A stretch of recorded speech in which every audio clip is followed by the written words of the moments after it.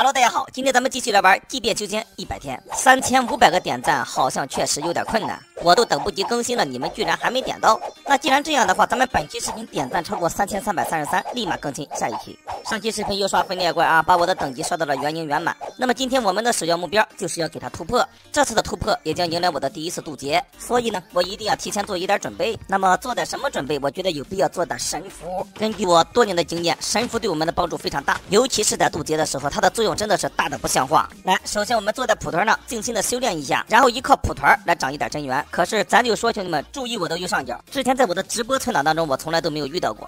这次修炼居然出现了一个步履蹒跚，而且修炼完以后一点真元都没长，这是怎么回事儿？哪位大兄弟可以告诉我一下，这是怎么回事儿？本来我是想少吃几块零食，现在修炼一下长点真元，一会儿再制作一个制服台，做点精血符，然后我再修炼一下。这样前前后后一修炼，我觉得至少能省下一颗七级灵石吧。这么一看的话，应该是没戏了。算了，咱们还是先说一下神符吧。制作神符呢，我们需要三样东西：草、纸加木板，就可以合成一张没有功能的神符。工具都已经代替了，现在我们出去找一下。只不过收集的时候可一定要注意这帮寄生虫。这时候如果再翻车，我又要损失掉一颗升级石了。还好这次我的运气还真是不错，除了家门口的一只猎兽和一只被感染的牛，我到现在为止还没有遇到第三个寄生虫。草、纸、木板摆成这个熊样子就可以制作神符了。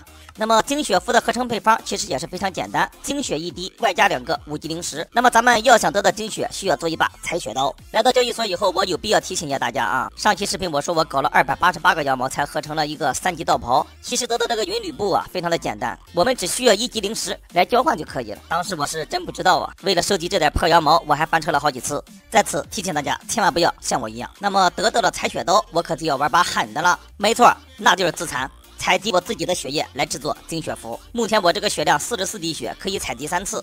再多采集一次的话，我必然翻车。所以兄弟们，采集的时候一定要注意啊，手一抖啊，有可能就一命呜呼了。那么我的第一次渡劫呢，我倒觉得也不用太过于紧张。这次我准备搞他十一张精血符，然后再搞几个金苹果，应该就差不多了吧？苹果呢，家里也没几个，七个苹果，制作七个金苹果。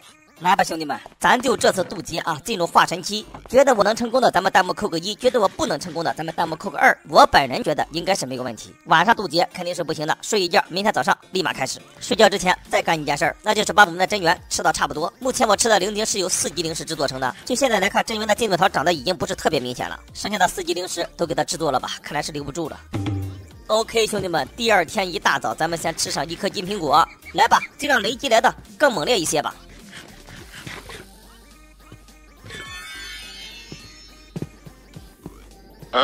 什么情况？没有雷击？不会吧？原来我是幸运儿。那么在这里我得说一下，兄弟们啊，刚才我的功德指数是啊四九九，而现在你再一看，只剩幺三九。换句话说，就是我的功德太高了。我是个大好人啊，兄弟们，就连雷都不劈我，你们还不点赞关注一下吗？这么好的一个大好人，你不点赞关注的话，真的是有点说不过去。就这样，我们成功突破元婴，来到化神期。牛逼！来到了化神期，我干的第一件事，首先是挖矿。最近呢，一直有粉丝给我留言啊，也是提醒我，建议我制作一把远程武器。那我就想啊，在这个生存中，什么样的远程武器才能对付得了寄生虫呢？弓不行吧？法杖也没有啊，那就只剩下枪了。行了，我也不装了，我摊牌了啊！这个整合包呢，确实有枪械模组。之前我认为这个枪械模组在这个生存中真的是没有啥作用，所以说制作枪械我压根就没有考虑过。直到我在我的直播存档中尝试制作了一把加特林以后，什么效果我就先不说了啊，先卖个关子。那么接下来咱也不挖矿了。至于我为啥不挖矿了，你们听一下。不行啊，兄弟们，听到这个声音，我多少有点大小便失禁，实在是不敢挖了。好，回到家，现在咱们先制作一个枪械工作台。制作枪械工作台，我们就需要淡灰色混凝土。淡灰色混凝土粉末制作出来了，战战兢兢来到小河边，旁边还有一只寄生虫，我压根理都没理他。兄弟们，咱都化神出击了，咱还怕他？开玩笑，我也顶多是用我的膀胱瞅那么一眼吧，我绝对不正眼看他。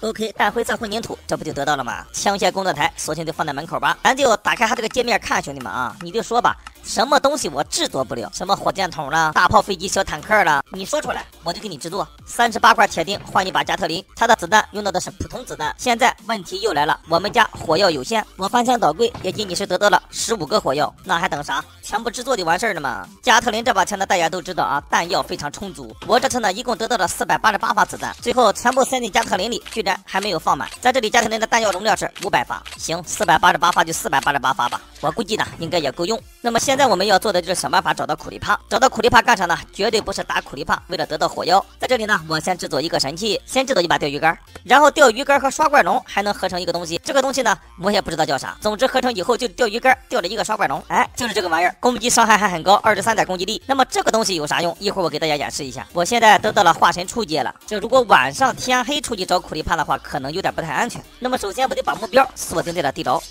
我记得地牢应该是有一个苦力怕的刷怪龙的，但是我不敢确定。所以呢，这次探索地牢我也是非常的谨慎加仔细呀，每一个地方我都要去，每一个刷怪龙我都要看。总算是运气还不错，在这里让我遇到了两只苦力怕，拿出我们的钓竿打苦力怕，然后它就会掉落这么一个东西。我们只需要收集到十六个，就可以制作一个苦力怕的刷怪单。听起来还行吧，感觉挺简单的是吧？其实收集这个东西呢，真的是不太简单，兄弟们。你像我这是运气好，一下遇到两只苦力怕，后期的我就没有这么幸运了。至于为啥不幸运，咱们先把这只苦力怕解决掉再说。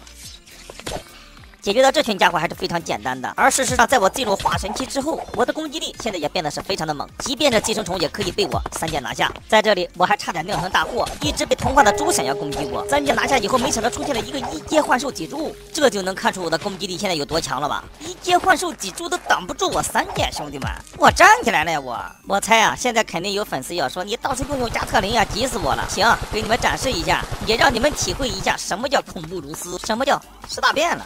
就目前来说，加特林的存在真的是怎么说呢，兄弟们，我都不会形容了，多多少少有点破坏游戏平衡吧。子弹现在太少了，打这种僵尸我都不舍得用。行了，那本期视频呢就先到这儿吧。制作一个苦力怕的刷怪蛋，目前对我来说确实不是一件易事儿。关注我，下期视频更加精彩。那么本期视频就到这里了，咱们下期不见不散。